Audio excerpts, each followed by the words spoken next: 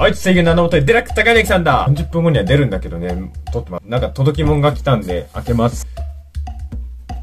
なんかです。開けます。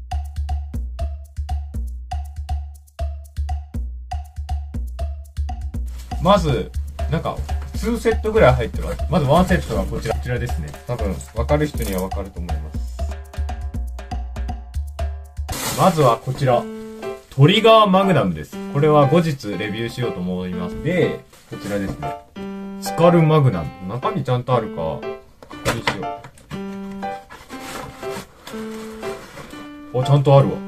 ちゃんとある、ちゃんとある。これこれも、あの、後日詳しくレビューします。もう30分後には出るんだって。これは、細胞のあれですね。ちなみにね、言いますと、これで僕は平成2期の仮面ライダーのデラックス版のベルトが全て揃ったわけです。平成1期は、まだ何もない。こちら、ダブルドライバーです。後で確認します。そして、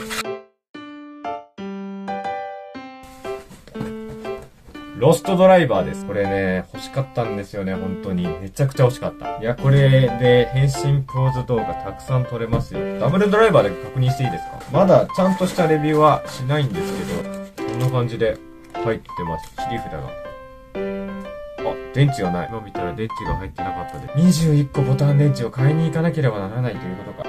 単4 2本。まあ、これはすぐ準備できね、いろいろ届きました。なのでね、後日、またレビューしていこうと思います。ということで、フォーゼ編の次はダブル編になります。メタルシャフトと、あれも届くと思いますので、それも楽しみにしていこうと思います。ファングとエクストリームは、ちょっと僕どうなるかわからないんですけど、まず買えるかどうかがわからない。高いですからね。